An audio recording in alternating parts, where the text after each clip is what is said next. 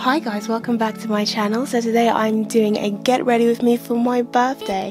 It's going to be a very subtle golden cut crease with a little bit of pink highlight. I'm kind of nervous for this look because I've never used some of the products that I'm using before, but I think it turned out okay. Tell me what you think in the comment section. But for now, let's get right into it.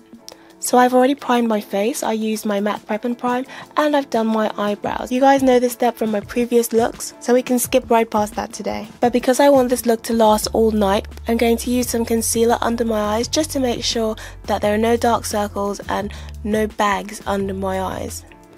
After that, I'm putting on my foundation, and I've mixed my foundation with a little bit of Melanie Mills Body Radiance in deep gold. And I just use a damp beauty blender to blend that out. So now I'm using the Anastasia Beverly Hills Contour Kit in Deep, and I'm using the lightest colour just to hide those bags under my eyes. It's like, it makes you look Photoshop, but without Photoshop.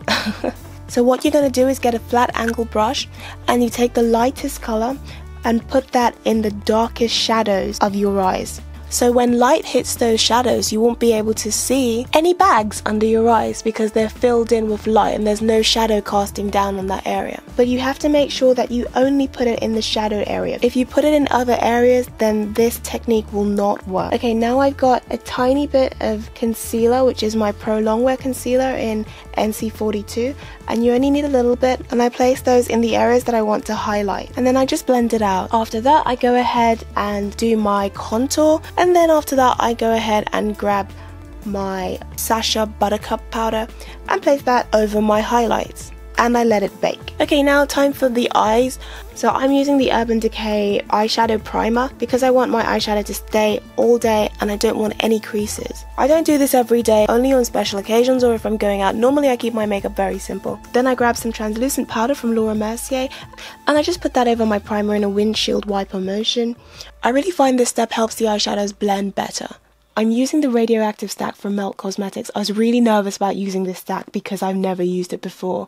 And I'm mixing the orange colour with my 212 Kiko. I was really hoping to get like an orangey brown, obviously, um, but the orange colour comes out pinkish on my skin tone, which is quite strange. So I just had to work with it. So I blended those two colours together and then I used the shade Unseen from the Dark Matter stack and I put that over the lid and in the crease of my eye. And then I'm using Blur and I put that just on the lid. The orange and brown mix didn't really give me the colour I was going for because the orange turned out pink on my skin tone. So I'm just using Embark here from MAC to darken that colour and make it more brown in the crease. After that I'm going in with Amber Lights from MAC over my lid and I'm really pressing this powder in. I wet the brush to make sure that the colour is really pigmented. And then after that I'm using Half Baked from my Naked 2 palette and just putting that over Amber Lights to really give me a standout glowing gold. Then I use that Radon colour again and a bit of that brown Kiko shadow and put that under my eyes on the outer corners and I put amber lights in the inner corners of my eyes. Then I just line my eyes with my Kiko Kajal pencil and then I use the Kiko Precision Eyeliner to do a very subtle wing. After that I brush off the baking powder and I add my translucent powder. yes, I know, I bake a lot. I don't keep that on for very long, it's just to get rid of the yellow tone in the buttercup powder. Now I'm using a brand new brush I bought from NARS called Taj Mahal. It's a really orangey golden blush and I think it kind of doubles as a highlight because I definitely didn't need to use any highlight, it was so golden.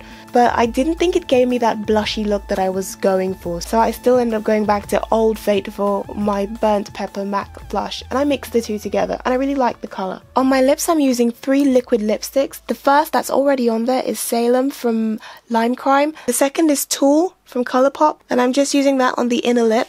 Then you wait for that to dry a little bit and then I'm going in with Shroom from Lime Crime again and I'm putting that in the innermost part of my lip. And to blend it out, you just press your lips together a few times and the colours blend. Now I'm putting on my favourite lashes, Iconic from House of Lashes.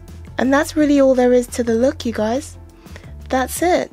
I did some Vixen Afro crochet braids with a bit of a leave out. Don't worry you guys, I'm going to have a tutorial on that for you very soon. I really hope you enjoyed the look. It's very simple glam and I think it turned out okay. So thank you guys very much for watching. Don't forget to like, share, and subscribe to my channel to get me to 20,000 subscribers where I'll do a massive giveaway. Then click on over to my vlog channel, The Navera Vlogs Life, to see all the birthday shenanigans. Thanks again guys, bye!